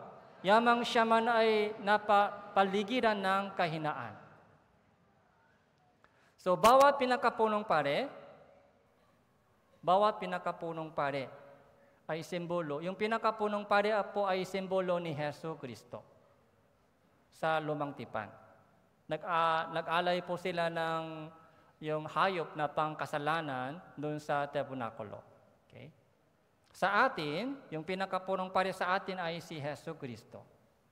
Verse 2 po, ano pong sabi dito? Siya ay marunong makitungo. Marunong makitungo. Ano pong ibig sabihin? Marunong makitungo. Okay. Galit, galit agad? Mangmang at naligaw. May problema sila. Mangmang sila, naligaw po sila. Pero marunong makitungo na may kaamuan. Marunong makitungo na may kaamuan sa mga mangmang, sa mga naliligaw. Bakit po? Siya man ay napapaligiran ng kahinaan. Pinakapunong pare. Meron din po siyang kahinaan. Kaya hindi po siya humuhusga ng iba madali. Mahina din ako. Ganun po yung dapat natin isipin. Kapag so lumalabas sa ganung mga isip, mga naghusga agad, humahatol sa ibang kapatiran, isipin po natin ito. Ako din mahina. Okay? Mahina din ako kagaya po nila. Okay? Kailangan matutong makitungo sa bawat isa. Kaya Galatia chapter 6 verse 1, mga kapatid, kung ang isang tao ay matak- natakpuan sa anumang paksuway, kayong mga espiritu ay dapat panunumbalikin siya sa espiritu ng kaamuan. Tingnan, ang inyong sarili, baka ikaw ay matukso din. Okay. Kapag isang kapatiran ay natakpuan sa anumang mga paksuway, may problema. Ganun din, ganun man, ganun man, So, panumbalikin mo sila sa espiritu ng kaamuan. Okay? Tingnan mo yung sarili. Ako din maari matukso. Napapaligid na mahina din ako, kagaya po nila. Yun, yun din po yung kailangan po natin, kaamuan sa harap ng patungo sa ibang mga kapatiran. Kaya sa harap ng Diyos, anong kaamuan sa harap ng Diyos? So, El Roy, alam ng Diyos lahat. Okay? Kaya hindi kailangan magalit pa. Hindi kailangan ma-explain pa. Tahimik lang, tuloy-tuloy. Yun po yung kaamuan sa harap ng Diyos. Sa harap ng ibang mga brothers sisters, ano po yung kaamuan ng kailangan po sa harap ng brothers sisters? Ako din, mahina. May problema din ako. Walang perfectong tao sa harap ng Diyos. Kaya, kailangan isama sa prayer kailangan encouraging. Okay? Hindi pwede maphusga-husga agad. Yun po yung kaamuan kailangan sa harap ng brothers sisters.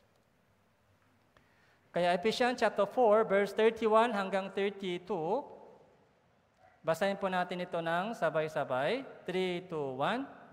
Lahat ng pait, galit, puot, pag-away at panirang puri ay inyong alisin, pati lahat ng kasamaan.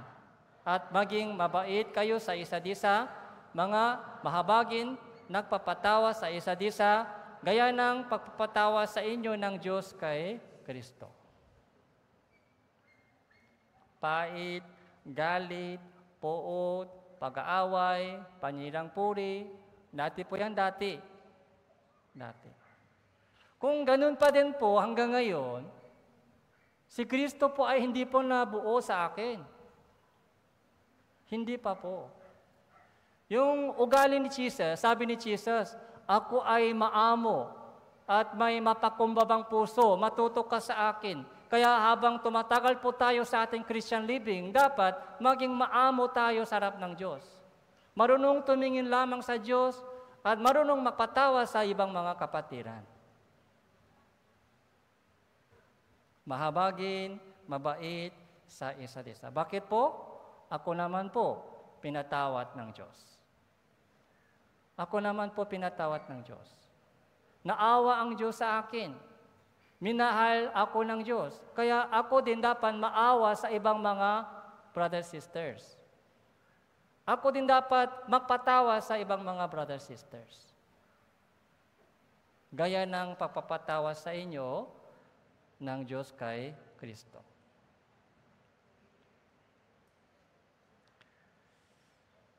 Yung pangalawang kaugalian ni Jesus ay humility. Okay, humility. Philippians chapter 2, verse 5.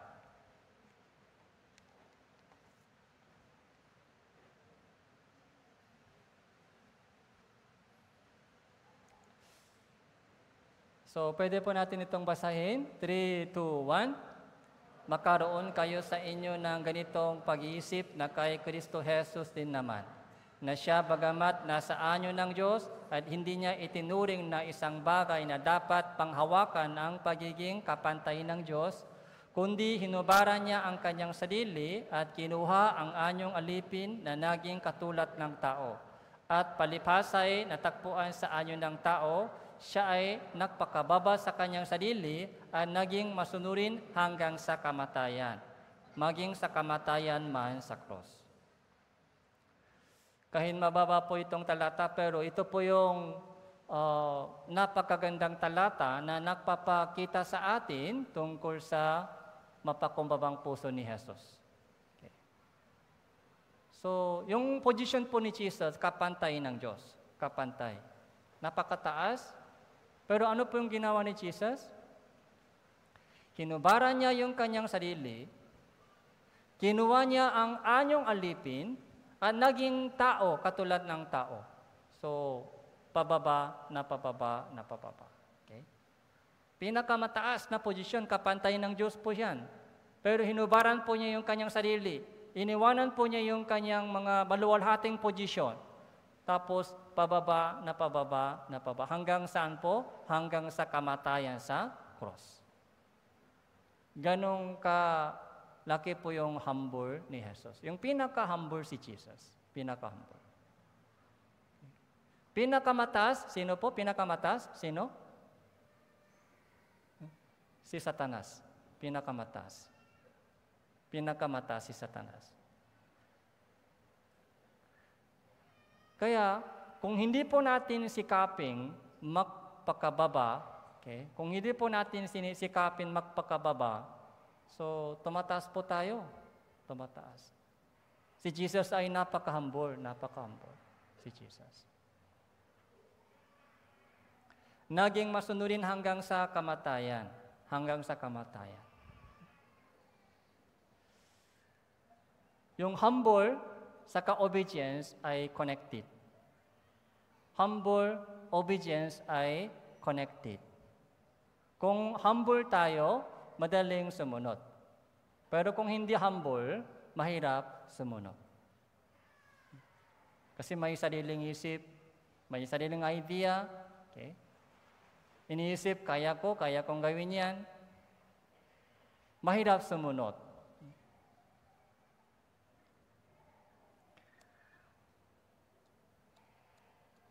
Kaya ito po, so tingnan po natin ito, if you work more, talk less. Hindi po talk more. Okay? Pero madalas po kapag trabaho ng marami, nagsasalita ng marami. Okay? Kapag maraming trabaho, pag maraming ginagawa mo, bawasan yung salita. Talk less. So, yun po yung kailangan po natin. Okay? If you sacrifice more, be more humble. Okay. Kung hindi, darating po yung time na napakataas ako. Kapag tumami na po yung experience, sa una, humble talaga sa una, walang experience, walang knowledge. Pero habang dumadaan po, dumadami po yung experience, yung mga knowledge, okay, may idea na. Kung ganun po, napakataas. Okay. Kaya, humuhusga sa ibang mga tao, ibang brothers sisters, okay. nagja-judge sa ibang mga brothers sisters, okay. pangit, pangit. Wala po siyang kaamuan sa harap ng Diyos. Kahit matagal sa Christian living, pero Maraming trabaho lang mahusay, trabaho. Pero yung character ay malayo pa kay Jesus, yung character. To more work, talk less. Tandaan po natin. More sacrifice, more humble. Okay? Kaya kung inisip po natin, ay marami akong ginagawa sa church. Kung ganon, isipin mo ay delikado. Dapat bawasan ko yung salita. Kapag malaking sacrifice, isipin po ninyo, ay delikado ito. Baka tumataas yung puso ko dahil sa sacrifice. Lahat po ng mga trabaho po natin, lahat po ng ating mga sakripisyo na hindi galing sa pag-ibig, ay delikado. Babalik po yan sa iyo at tutusok sa iyo, tutusok. Lahat ng mga sacrifice natin, yung mga trabaho po natin, na hindi galing sa tamang motibo, tamang uh, tamang uh, motibo, intention, o kulang sa pag-ibig, ay babalik sa iyo at tutusok sa iyo. Okay.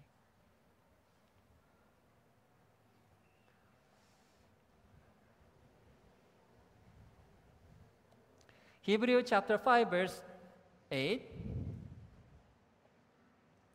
Hebrew chapter 5 verse 8. Basahin po natin ito ng sabay-sabay. 3, 2, 1.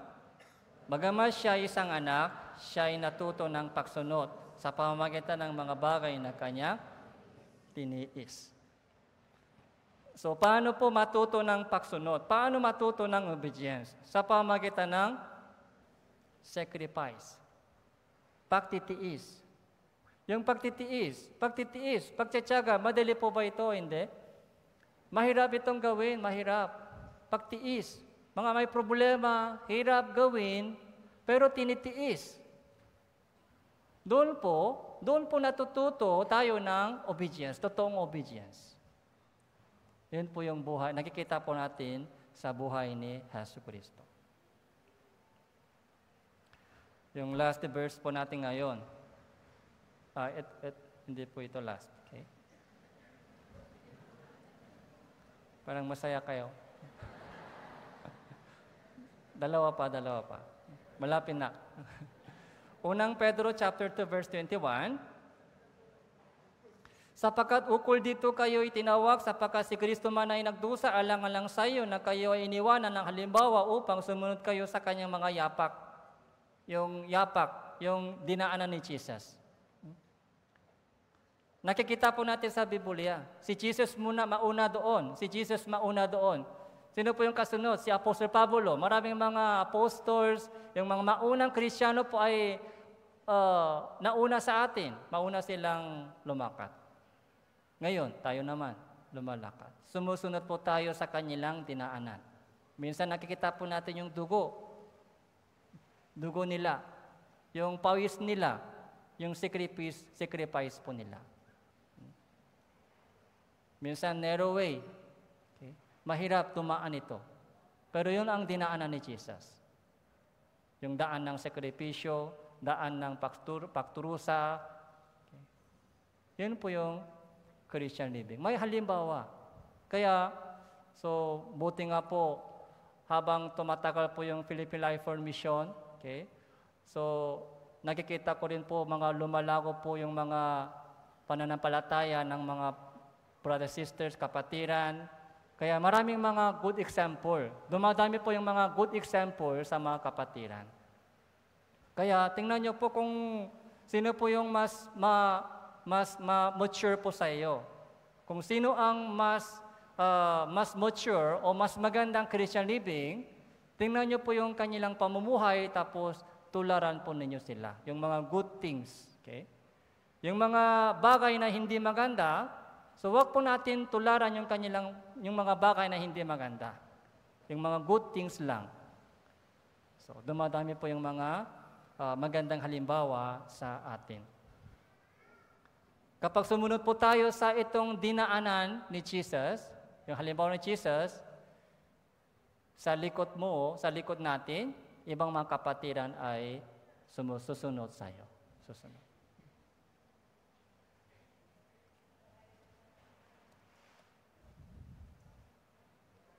Ito na yung last verse. Ngayon, John chapter 13 verse 14 to 15. Basahin po natin ito. 3, 2, 1. Kung ako nga, Panginoon at Guro ay naghugas ng inyong mga paa, kayo man ay dapatin maghugas ng mga paa ng isa't isa.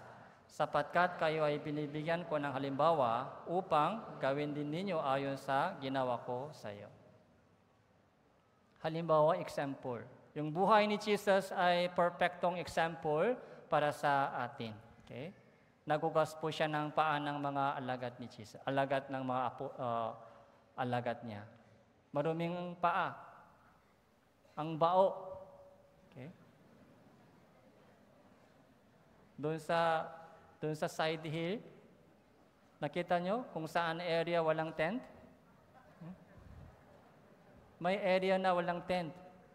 May reason. Ang bao ng baboy. Pag mabao, ayaw lumapit. Lipat, lipat agad, lipat bahay agad. Yung maruming paan ng mga alagat, yung ma, maruming maruming paan ng mga alagat, mabaong paan ng mga alagat ay hinugasan ni Hesus Kristo. Lumuhot siya.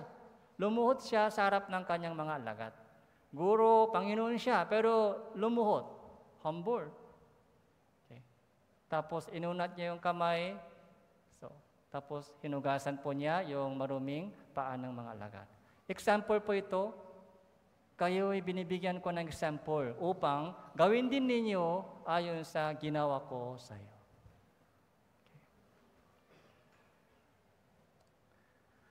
Kaya ganito po yung yung paghugas ni Jesus, okay?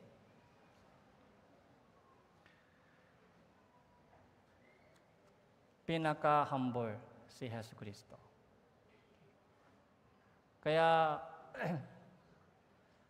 sana po next year, 2023, isa pang panibagong taon. Okay? Another chance. Okay? Manatili tayo sa church, tapos lumago tayo sa pagkakilala kay Hesus Kristo. Sana hanggang mabuo si Kristo sa atin magiging, tayo po ay magiging little Jesus. Okay? Little Jesus. Anong ibig sabihin? Pangalan lamang Jesus? Ugali? Ugali pangit? Hindi po. Pangalan, pati yung ugali. Maamo, mapakumbaba. Okay?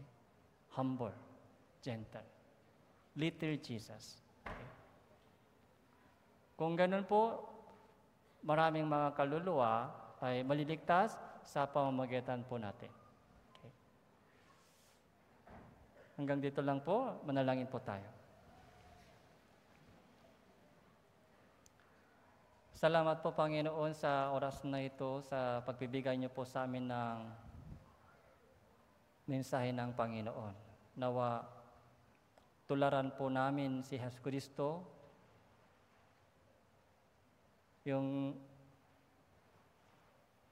yung kaamuan ng Panginoon at kapakumbabaan ng Panginoon ay nawa matutunan po namin sa aming pamumuhay kristyano. Gamitin niyo po kaming lahat para sa kaligtasan ng mga maraming naliligaw na kaluluwa. Tulungan niyo po kami, hawakan niyo po ang aming pamumuhay kristyano upang manatili po kami sa iglesia at lumago kami sa pananampalataya. Hanggang matapos ang lahat ng itong gawain ng New Year Retreat, kayo lamang po ang gumabay at tumulong sa amin. Ito po yung aming panalangin sa pangalan ng Panginoon, Heso Kristo. Amen.